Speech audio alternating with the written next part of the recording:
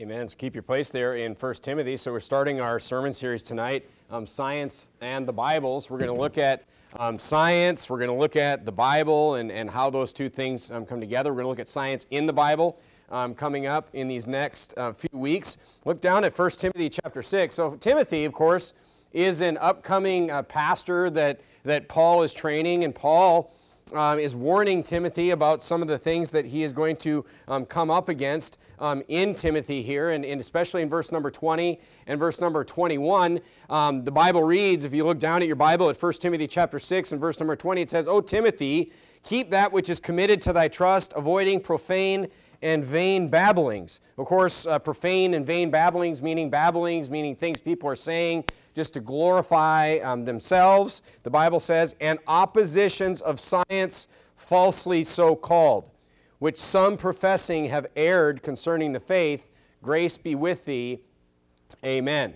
So there is, uh, you know, we need to look at some definitions before, and that's going to be the purpose um, of the sermon this evening. We're going to look at some definitions of what um, science is, what it isn't, um, what's taught today, and what's the difference between what's being taught today and, and the actual um, word or definition of science. And then we'll look at the Bible and science in weeks going forward. But look, there is science in the Bible. The Bible contains science, okay? And that's what we're going to be looking at in the next. In, in a better way of saying that is the Bible, you'll understand this uh, phrase a little bit better towards the end of the sermon, but the Bible contains scientific things, is a better way of saying this. You know, we're going to look at the actual science of these things and where they are in the Bible um, next week and the weeks following. But the Bible here in Timothy is actually saying the word science is only in the Bible twice, I believe.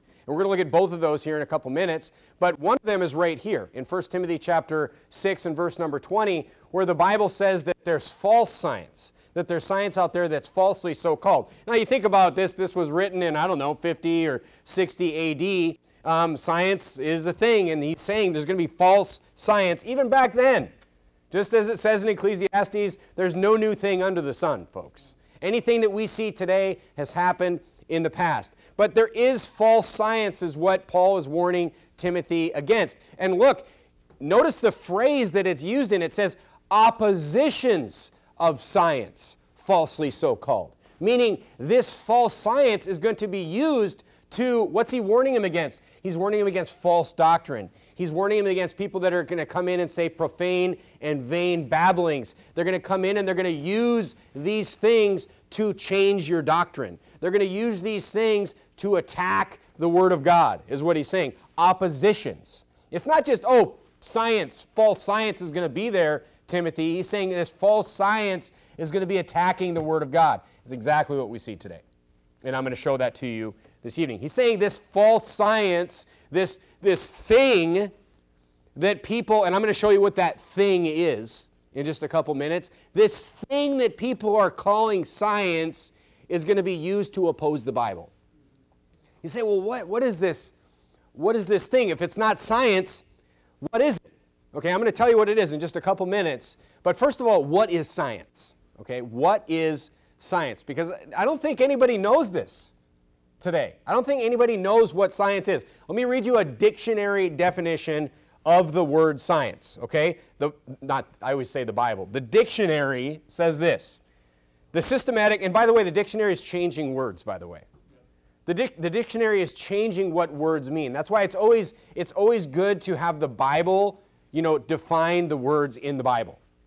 Okay? Look at science um, from the dictionary. The systematic study of the structure and behavior of the physical and natural world through observation, experimentation, and the testing of theories against evidence obtained, against the evidence obtained.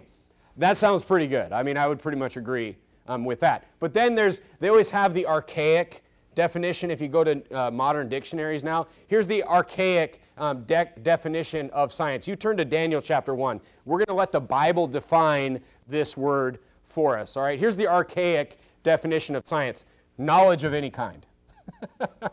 so it's basically taking a little shot at the dictionary's taking a little shot at the Bible here. It's saying, oh, when the Bible uses, when the Bible uses, especially when it, the archaic word is, is kind of like, you know, what the King James uses. you know, that would be the archaic um, word. Um, many times would be that archaic definition. But the Bible does not define science as knowledge of any kind. All right? The, there's, the other time science is used in the Bible is in Daniel chapter 1, when it's actually describing Daniel and the, the young men that were brought over um, from um, into captivity um, in um, that first wave of Babylonian captivity. Look at Daniel chapter 1 and look at verse number 4. Look at Daniel chapter 1 and verse number 4. The Bible says this about Daniel and his friends, okay? It says, children, I mean, these, these, these kids that were brought over were so wise, they were found to be so beyond anything else that the king of Babylon had um, in his palace that they were just super valuable. Even when the Persian Empire took over the Babylonian Empire, Daniel was still made second in command of the Persian Empire. That's how valuable his skill set was. Okay, and it's describing his skill set right here in verse number four. It says, Children in whom was no blemish, but well favored. And look at this it says, And skillful in all wisdom. There's the first thing it says, and cunning in knowledge.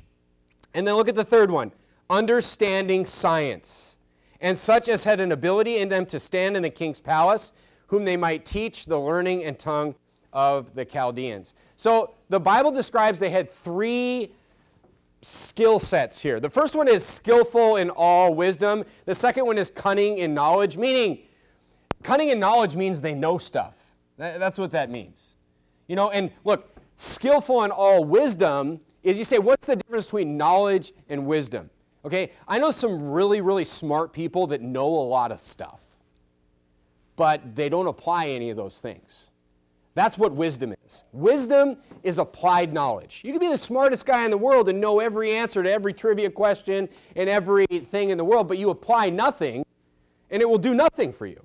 It's the same thing with the Bible. You sit here and just listen to the Bible and listen to the Bible. You could know, like, I can't tell you how many times I've had people that apply none of the Bible tell me how many times they've read the Bible.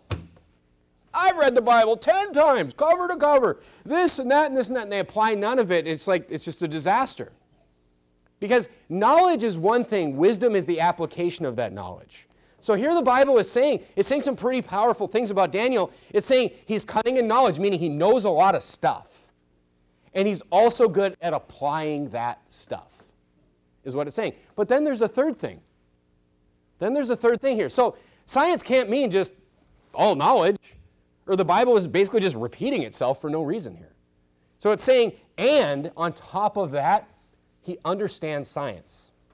All right, so look, science is the first definition of what I told you, that, you know, uh, from the dictionary. It's, it's basically ex- observation, experiment, it's a method and testing of theories. It's basically observing something. I mean, if you remember this from, from high school, you know, some of you probably wasn't that long ago. You remember a hypothesis? I mean, there's a word that you'll never forget, right? You have a hypothesis, meaning you think something, you, it's, a, it's a conclusion that you think is going to happen. Like if I, you know, it's a, it's, a, it's a conclusion that you're trying to prove. And then you use science to do an experiment to test your hypothesis. Or, you know, it's really a theory, is what it is. But science is the method, it's the process, it's the, it's the testing, it's the experimentation. In science, you're building things, you're building apparatuses and test, you know, cases and all this kind of stuff. I did this for years.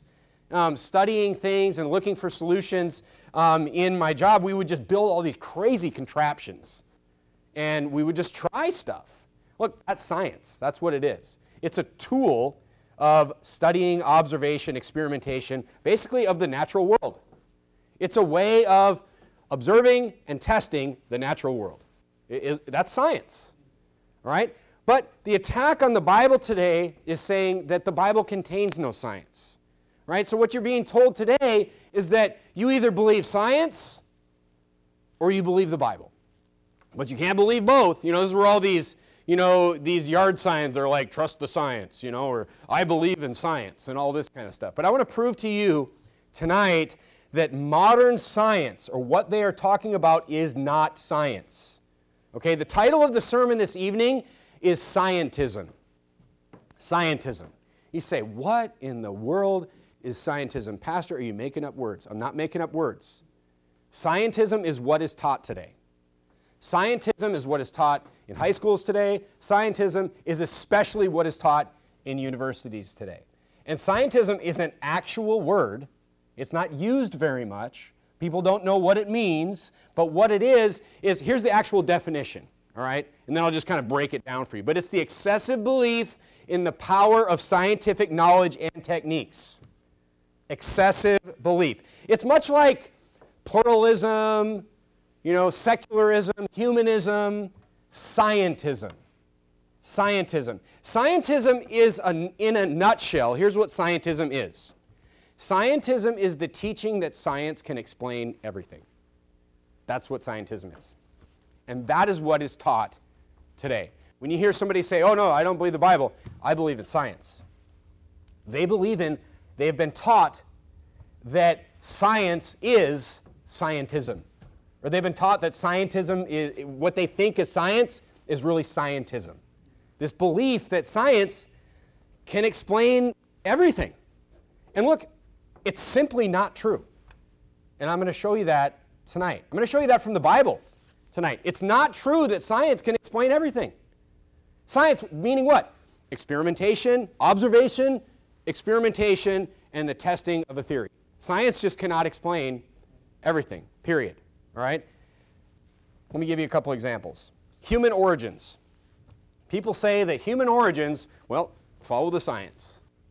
Follow the science. So, what is the science? The science of human origins that's pretty much just accepted today is the Big Bang Theory. Now, for those of you that went to high school in the last 10 or 15 years, when, I, when the Big Bang Theory was taught to me in school in the 80s, we thought it was a joke. Like, seriously, we made fun of it. I mean, even the teacher was like not really taking it that seriously. You say, you know, it came from the origins of it, it's not that old. The origins were from the 1930s or something. And guess who, guess who came up with it, by the way? It was a Catholic priest. Shocker. But the point is, the Big Bang Theory, no one has ever tried. I mean, it's the dumbest thing ever that, that you know, everything was this compressed singularity in this microscopic dot, every piece of mass in the universe. And then it, the Big Bang, as it exploded, it exploded, and this is why we are here, basically right? But look, let's talk about science now. No one has ever tried to recreate this. No one, no one has ever tried to produce order from an explosion. Ever. Why don't we go and take someone's messy house, if we're going to just test this, we'll take a thousand messy homes and we'll blow them all up and see if they get better organized. You're laughing, ha ha, because it's dumb. We actually have done a lot of experimentation on explosions, actually in the United States, but back in the 40s and 50s, we were testing, you know, some of the biggest explosions that, that man could even create. You know, testing atomic bombs. You know what we did though? We built towns. We built mock towns to watch the destruction. Nobody, nobody was out there as part of the Manhattan Project trying to figure out if one of the explosions created like created a village or something, you know, or made a car or whatever. Because I mean, just it wasn't even a thought because it's it's ridiculous to even think about that. It doesn't even make common sense, right? Look, as a matter of fact, you know, Nagasaki and, and, and Hiroshima, when we dropped the atomic bombs on actual cities, nothing was created. There's all this testing. Nothing was created. As a matter of fact, hundreds of thousands of lives were destroyed instead. The entire cities were destroyed. So, look, it's not science, is what I'm trying to get you to understand. It's not science. Nobody has even tried to, it, the theory itself, no one has even tried to use science to test it. It's so ridiculous. I mean, that doesn't even, you know, talking about the, the singularity, the singularity. You know, you think about every piece of, of mass in the universe compressed into a microscopic dot, or however big they say it is. That's not science. No one has ever tried to test that. No one could ever, because you know what you have to do? Again, what do you have to do with science? You have to make an apparatus. You have to make something to test it with. we go, we would test things on systems in the power plants, and I had this team of guys that could build anything. Like I'm just like drawing stuff on the whiteboard, and I'm like, I need uh, a tilt switch that looks like this. I need some kind of vessel that can hold this kind of pressure. And these guys just make anything out of metal. It was crazy. But some kind of apparatus that can compress the entire universe into a, a, a tiny microscopic dot, no one would even think about that. It, it's ridiculous to even think about it. You're like, just the, I mean, modern hydraulic systems work on the principle that fluid, water, and especially oil is not compressible. Yet we're going to compress everything into a microscopic dot, right? Well, you know, then, then what they do is they use, they use, use the same method to get people to buy this on every single one of these theories. They use this sensationalism where they're like, I mean, think about the pressures that must be involved there. Think about, you know, that's why, look, if we could achieve pressures of, of this type, we would have machines that were super efficient today. You know, the reason that your car is not more efficient is because, you know, we can't raise the pressure high enough and we don't have materials that can contain that pressure. If you want to take a thermodynamic machine of any kind and increase the efficiency, you need to you raise the temperature and raise the pressure. That's how you do it. But we don't have materials that can contain it. That's why diesel, uh, diesel engines are more efficient and put out more torque than gasoline engines because there's higher pressure there. There's higher pressure. But what the point I'm trying to get you, get you to understand is the pressure and, and so you're like, well, how could that be even possible? No one's built a machine that could even take this pulpit and compress it into a microscopic dot. You're talking about the entire universe? But here's what they say oh, well, the pressure was infinity. like, oh, I get it now. You see, they just throw out some some, no, that's not even a number. They throw out some idea that you can't even imagine, right? And then people just stop thinking and they're like, oh, but it was infinity. It was infinity. So look, this is not science, is what I'm trying to get you to understand. These are theories. There can be no experiment that tests these things. All right? There can be no apparatus that's built to test you know, the Big Bang or this compressed singularity. You know, there has been no experiment. There has been no evidence. You know, I mean, just think of the universe. It exploded, and all of a sudden we get these beautiful galaxies and these perfectly round planets with these beautiful rings around them and all this stuff. it's like no one has ever done anything, even through all the explosions that have happened ever, that has done anything that has created the slightest bit of order. As a matter of fact, Entropy, as we talked about a couple years ago, is only increasing. Things are getting more and more disordered all the time. All right? So look, the point is, it's not, a, it's not science, it's a theory. These things are theories, and they are not provable through the tool of science. So not only are they theories, but you can't use science to prove them. So this idea of scientism that you can know everything and everything can be explained through science is false. Is what I'm trying. It's look, it's science, falsely so called. All right? And they use this sensationalism to get people to just quit thinking. You think about the origin of species, it's the same thing. It's all the same thing. Once you recognize the pattern here, think about the origin of species that through this explosion, right? Came, uh, you know, suddenly there was a, a, bacteria and then a cell and then a, a, you know, germ or whatever, and then pretty soon we had plants and bugs and then you. But no one has ever been able to experiment and show that. There's never been an experiment that shows that. They're like, oh, well, uh, uh, a, a bird vertebrae looks like a lizard vertebrae. So there you go. So what do they do? You're like, well, I just don't see how species could move from species to species. There's never been an experiment. There's never been an example. There's no fossils, nothing. How could that be possible? They're like, well, it was billions of years. And you're like, oh, that explains it. It's the same thing as, what, I mean, what? Well, infinity pressure. That's what kind of pressure? Infinity. 13 billion years. How are you, who are you to say what could happen in 13 billion years? And people are just like, whoa. It's like the national debt, right? People are like, $31 trillion. If you stacked up those $100 bills, they'd go to, I don't know, past the space station, I think. But the point is, people just, they can't even comprehend that kind of number, so they just shut off their brains and they quit thinking about it. All right? You just add billions of years, you add illustrations, you add some Hollywood in there, and all of a sudden you got the origin of species, right? But it's essentially the same method for, you know, all these other secular theories, all right? People shut off their brains, they agree. But again, it's not science. It is just a theory, and it is one, it's not provable by science, and it is one that requires literal blind faith. It requires blind faith to just believe, oh, billions of years, okay. Oh, infinity pressure. That's never been proven anywhere that that could even be that could even happen or anything could ever contain that, but blind faith. That's what it is. That's all it is. You know, it's scientism, folks. It's scientism. This is what scientism is this belief, this teaching that science can explain everything. It is clearly false. The, the global warming and the climate uh, sensationalism is, is, is more of the same. All right, it's more of the same. If you go back to you go back to the first Earth Day in the 70s, I think it was maybe it was 1970, the first Earth Day, and just go and you can come up with all the quotes of all the scientists of that day. Let me give you a few. There was a Harvard biologist, this is 1970, named George, George Wald, who said that the Earth was going to end in 15 to 30 years.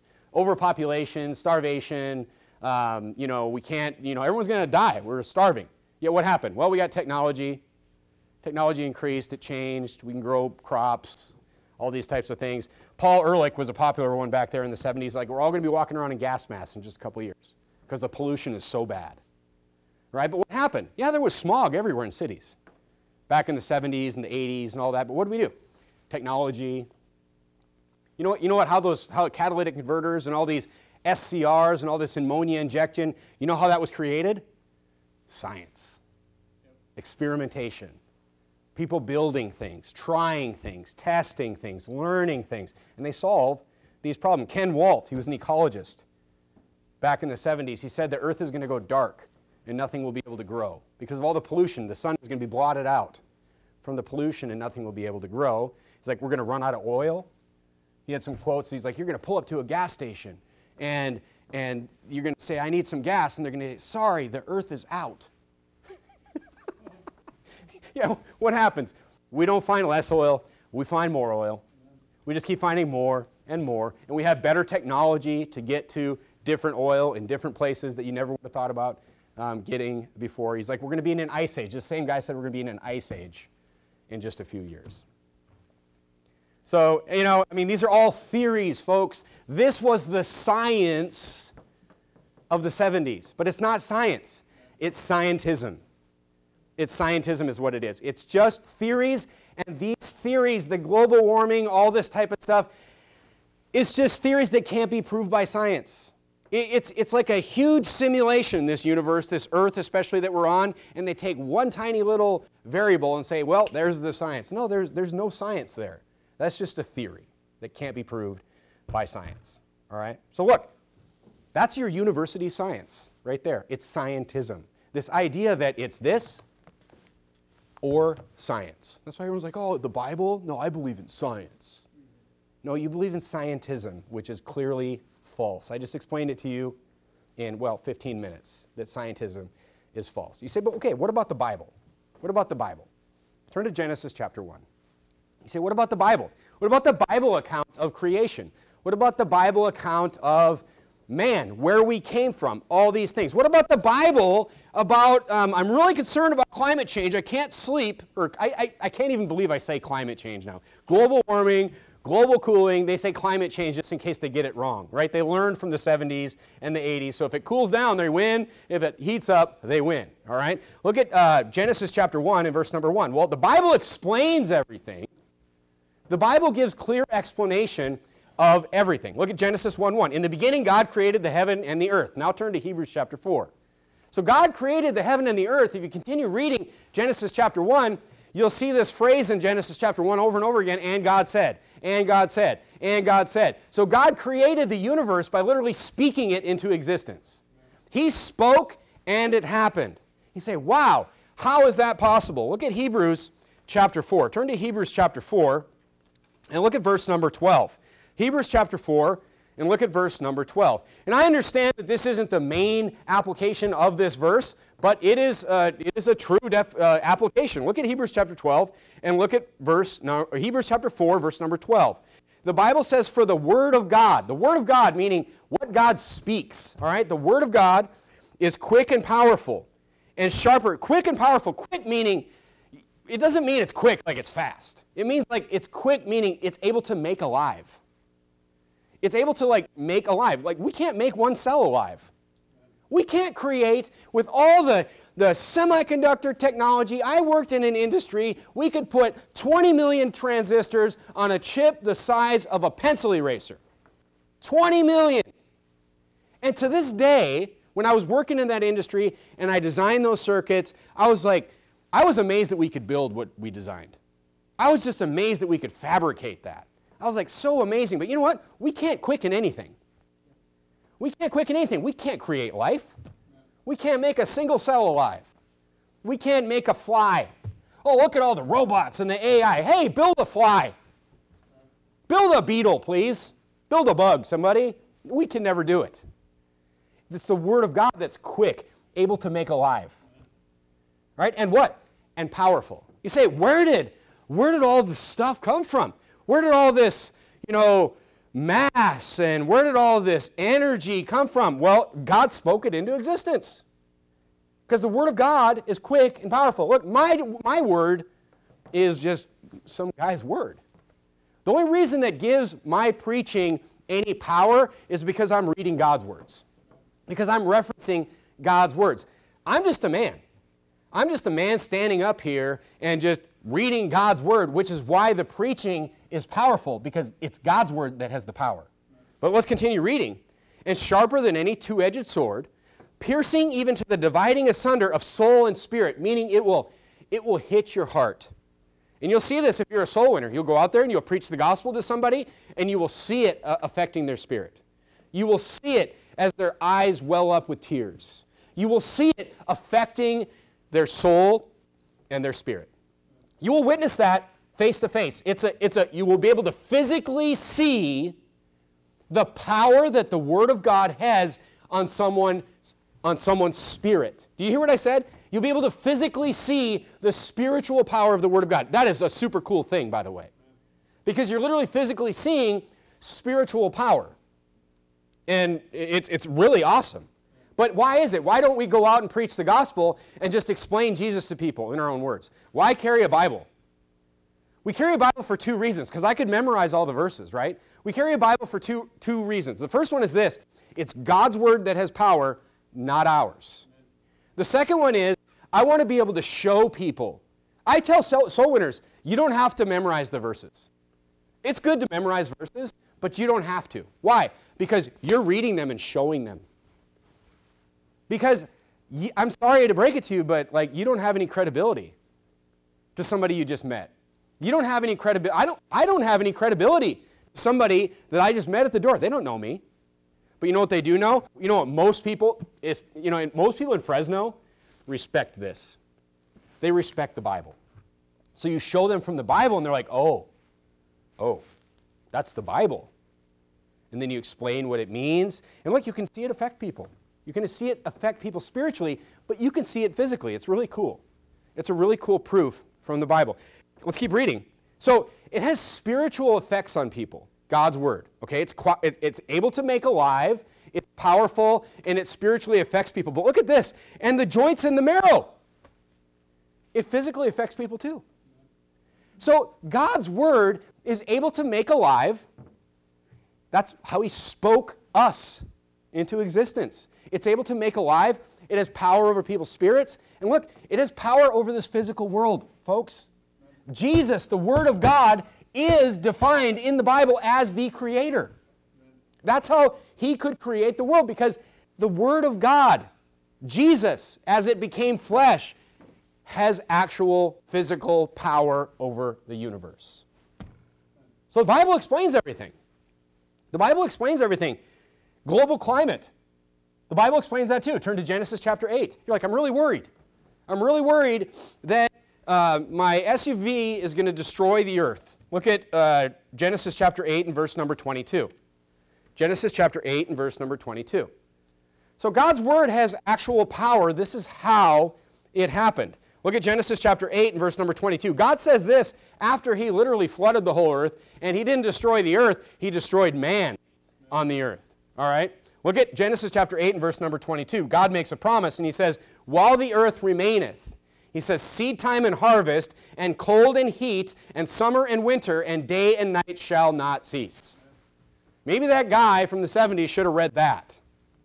He's saying, you know what he's saying? He's like, you know what? This is a promise. You know what he's basically saying from Genesis chapter 1 to Genesis chapter 8? He's saying, I started it, I will end it. It's an arrogant thing to think that we're going to end this thing, that we have the power to end what God says. He not only says he's going to end it, he gives us incredible detail on how he's going to end it. For us to think that we're going to end it is, is ridiculous. Now, look, do I think we should throw trash everywhere? No. That's annoying. I mean, I mean, do I think we should, you know what, you know what that means? If we throw trash everywhere, we're not going to end the earth. It means we're going to be living in a, in a junk pile of trash, California. I've never seen so much trash in my life. We're joking out soul winning. All you have to do is drive long enough in California and you will find a free couch and probably a boat. Because people just throw trash everywhere here. But guess what? It's disgusting. It's ugly. It's annoying. I used to hate when, when hunting season would come along and all the people from the city would come out to the country and they would just throw their cans out the window. And then we would cut hay in the ditches and I get, I get a bunch of hay bales with beer cans in them. That was really irritating to me. But it wasn't going to destroy the earth. Do I think we should fill the air with smoke? No. But this is where technology and science comes in. And you, you know what would happen if we filled the air with smoke? We're not going to end the earth.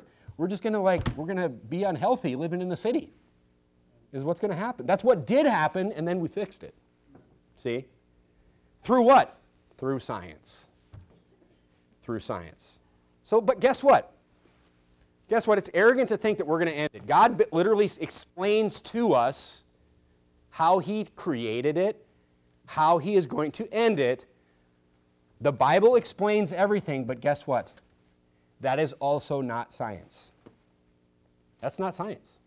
That's just an explanation that God gives us on how it happened. But he does, the difference between the Bible and scientism is God gives us evidence. He gives us evidence. Turn to Romans chapter 1. Turn to Romans chapter 1. God gives us evidence. He doesn't just say, hey, uh, infinity. Hey, billions of years. He's like, no, no, no.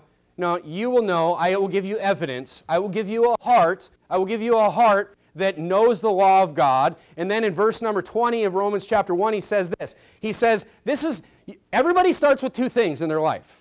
Remember this. Everybody starts with a conscience, which is the law God wrote in their heart, and everybody has the creation around them as a witness of what God did. Look at Romans chapter 1 and verse number 20. He says, The invisible things of Him. You're like, how could I know that there's a God? How could I know that there's a God when no one's ever told me about it and I just don't know? He said, The invisible things of Him from the creation of the world are clearly seen, being understood by the things that are made even his what? Look at this.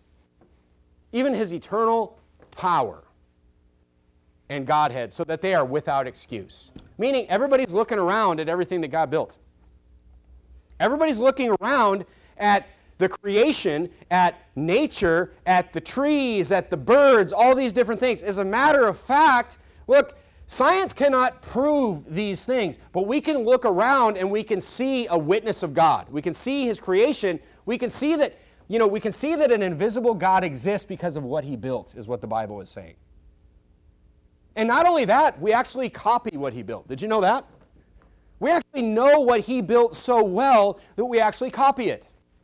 You look at um, an industry that's huge in California is water treatment. There's so much water treatment. Water's a really big deal in California. You look at water treatment plants. You know what? You know what the mountains are? They are God's water filters. Like, why are there mountains? Why did God create mountains? Everyone's like, well, there, that mountain was created after billions and billions and billions of years. No, God put that mountain there to be a water filter. Because the water evaporates from the ocean and it rains or snows in the mountains. It's a nice little storage system for us as well. And then it flows down the mountains through this huge gravel filter of these, these shallow mountain streams. You know what they use in industrial water treatment plants? Gravel filters. Then, the, you ever seen a mountain stream up top? Up top, I'm talking seven, 8,000 feet. They're very shallow, they're very clear, and you can see all the way to the rocks. Many times they're that deep. Why? You know other kind of filters they use in industrial water plants? UV filters. Because UV light, the sunlight, actually cleans the water. It kills bacteria. And it cleans the water. So by the time the water gets to the bottom of the mountain, it's clean for you. Again, same water that we drank before. Just again and again and again. Birds. Birds. We never would have been able to have an airplane that flies if we didn't copy the profile of a bird's wing. Ah, something exploded and created the bird. Good thing the wing was shaped like that. Where it could have that, you know, that contour of the airfoil of the wing, where, the, where it creates a low pressure above the wing and high pressure. And guess what? What do you get? You get lift. We, we copy God's design all the time. This is why the best scientists, they're actually called engineers today. Science, science is out, that word is out the window. That's why the best scientists or the best engineers throughout the history of mankind have been people that feared God. Because they looked at God's creation and they're just trying to unlock God's answers. Right? But look, science cannot prove everything in the Bible. You say, why? It's a false premise that science can explain everything. This idea of observation, experimentation. Look, some things I just explained to you. Some things God allows us to use science to figure out from what He's given us, from the creation, and, and model those things and rebuild those things. But science cannot explain the creation itself. I can't go and test, I can't go, uh, after my dog dies, I can't say, dog be alive, because it won't work, because my word is not quick and it's not powerful. Science cannot explain the miracles in the Bible. Science cannot explain the resurrection of Jesus Christ, the biggest event that has happened in the history of mankind. Science cannot explain. Why? Turn to Matthew chapter 19. I'll tell you why science can't explain this. Turn to Matthew chapter 19. Matthew chapter 19. So science can't explain everything in the Bible, all right? But God gives us plenty of evidence to believe the things in the Bible. Look at Matthew chapter 19. Look at verse number 26. Jesus tells us here why science can't be used to explain everything in the Bible. Look at Matthew chapter 19. Look at verse number 26. Matthew chapter 19. We're talking about why can't I use science to prove everything in the Bible? So science can't explain everything. That false teaching in the world is called scientism, and it's false, as I've showed you. But science also can explain the major things in the Bible, namely the things that God has done. Why? Look at Matthew chapter 19, look at verse number 26. Jesus says, He says, With men this is impossible, but with God all things are possible. This is why we can't use science to prove everything in the Bible. Because with us, we can't do everything. But with God, He can do everything. In Revelation 19, there's a word used to describe God called omnipotent, meaning He has all power. You do not have all power. So you cannot recreate what God has done. So look, it takes faith. It takes faith, but it doesn't take blind faith. It doesn't take blind faith. The idea that science explains everything is someone, you know, if they believe that, they don't know what science is. Okay, they're believing something called scientism. And then they just swallow a whole load of literally unimaginable theories. All right, turn to Ecclesiastes chapter 1. And then they say, they, they swallow these theories that they literally redefine as science. It's ridiculous. I mean, it's, it's, it's moronic, really, when you think about it. Look at Ecclesiastes chapter 1. Ecclesiastes chapter 1. Ecclesiastes chapter 1, look at verse number 12. Ecclesiastes chapter 1, verse number 12. The Bible says in Ecclesiastes chapter 1, verse number 12, it says, I, the preacher, was king over Jeru- Israel in Jerusalem. This is, of course, Solomon uh, talking in Ecclesiastes. Solomon was the wisest man that had lived at this point. He was the wisest man on the earth. God just poured wisdom upon him, and he was just, he wrote the Proverbs, he's writing Ecclesiastes. And he look, look what he says. And he says, And I gave my heart to seek and search out by wisdom concerning all things that are done under heaven. People would come. This is how he got so rich. This is how he got so much gold because people would come just to hear him talk about the animals and about the creation and all the wisdom that he had. And people would just give him the gold, and this was the Queen of Sheba. They just paid him all this money just for what? For his wisdom. All right? So he said, I searched out by wisdom concerning all things that are done under heaven. This sore travail hath God given to the sons of man, that's us, to be exercised therewith. You know what he's saying here? You know what he's saying? It's a really cool statement, but you know what he's talking about? He's talking about science. He's talking about exercising, you know, the ability to figure out the natural world as the, as the, the definition would call it, or God's creation as I would call it. What he's saying is the mysteries of God's world are for us to explore. That's what he's saying through exercising this knowledge. And look at what he says. He says it's hard. He's like, it's hard to figure this stuff out.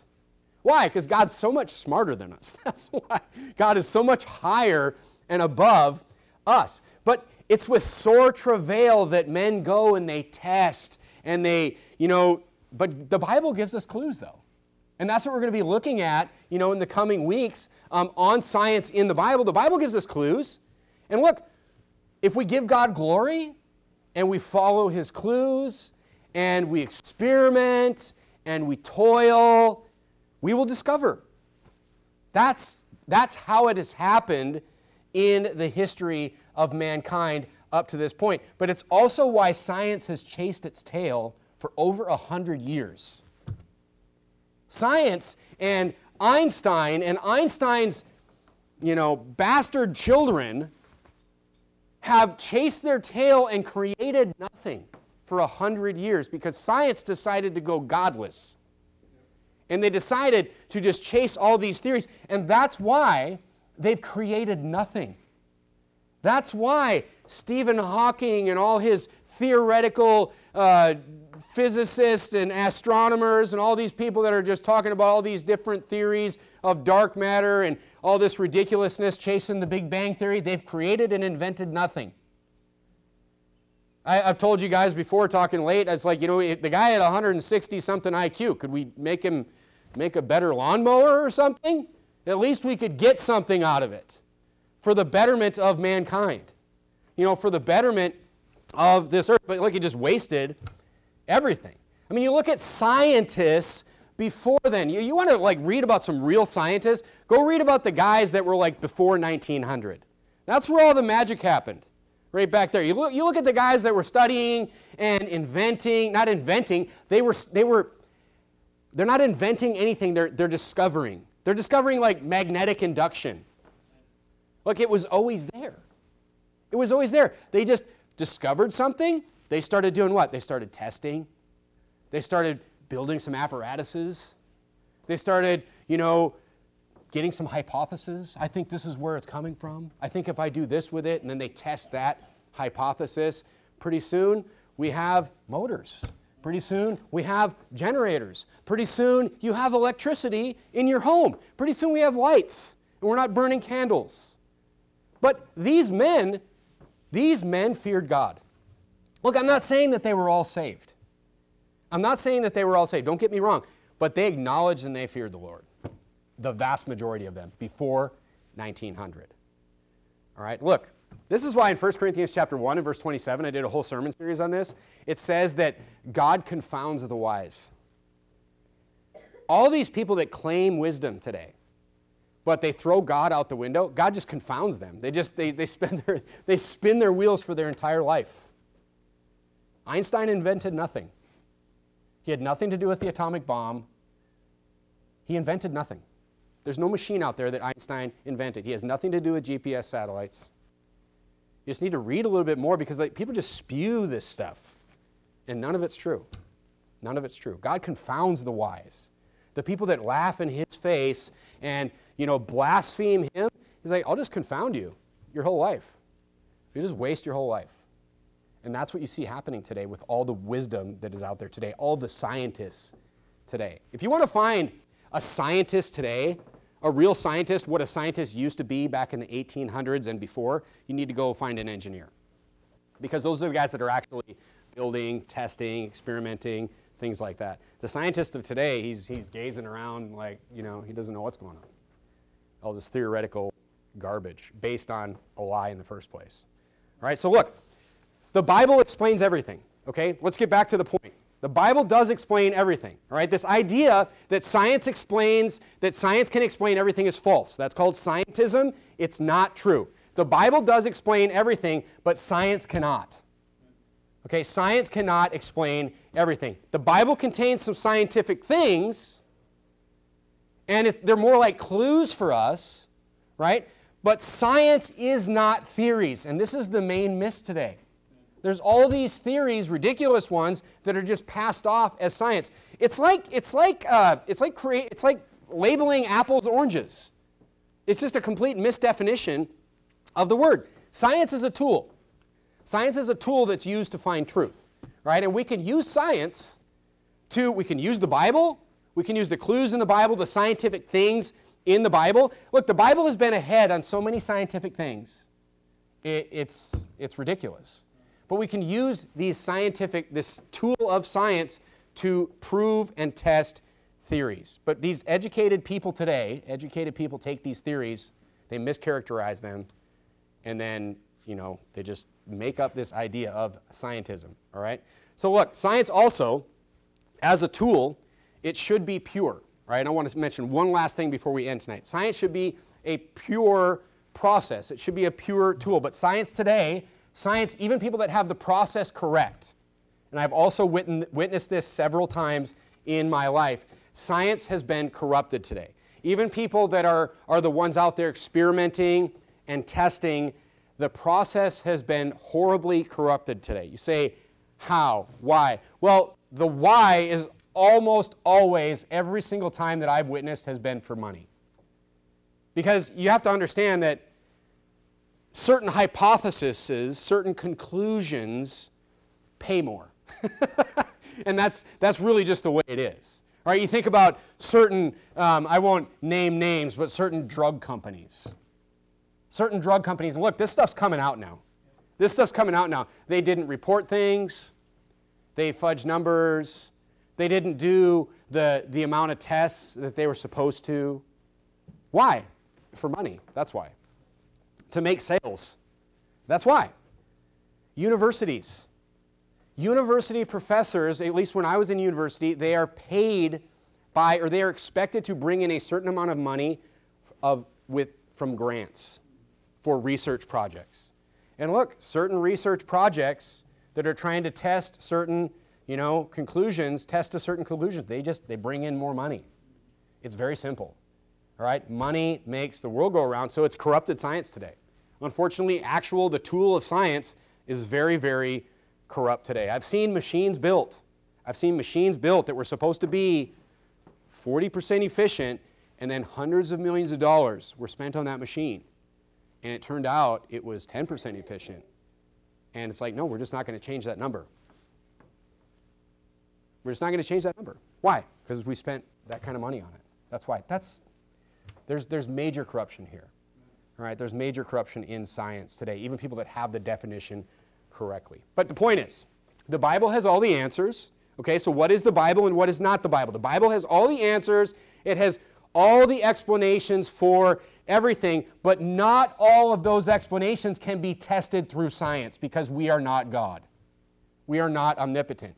It can't be proven through experience, but that's why it takes faith. And look, God wants it to take faith. Okay, it doesn't take blind faith, though. Believing in infinity pressure, that takes blind faith. Believing in billions of years, that takes blind faith. No one's ever seen that kind of pressure. No one has any idea why billions of years? Other than if we just say that number, people will believe that, you know, a cat can become a, a dinosaur or something, you know? Or a plant, a daisy, can become a person. So it's just billions of years, infinity, that takes blind faith. So scientism is false teaching. It's passing apples off as oranges. I'll stick with the Bible, quite frankly. It has all the explanations. These explanations do not take blind faith. I can look around and I can see what God has built. In the next few weeks, we're going to look at the many scientific things that are in the Bible and just kind of do an exploration on the science and the Bible and science in scientific things in the Bible. Next week, we're actually going to look at science. We're going to look at a scientific experiment in the Bible. And then we will look at scientific things in the Bible. All right, so it's going to be really fun. I like science and I like the Bible. They both go hand in hand and they both complement each other perfectly. All right, it's just these people that say science or the Bible, they don't even understand what they're talking about when they use the word science. Right? They're talking about scientism, which is this false teaching that all these theories are science and that they can explain everything, which is just completely false. Let's bow our heads and have a word of prayer.